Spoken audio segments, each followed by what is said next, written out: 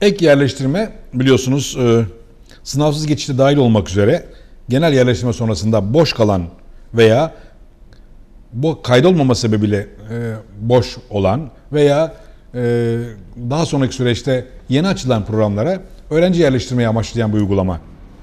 Bu programda bu e, ek yerleştirmeye e, sınavsız geçişi dahil olmak üzere merkezi yerleştirmede açık öğretimin kontenjansız programları dışında bir yüksek öğretim programına yerleştirilen adaylar başvuramazlar. Bunun dışında bütün adaylar yerleşememişlerse eğer ek yerleştirmeden faydalanabilirler.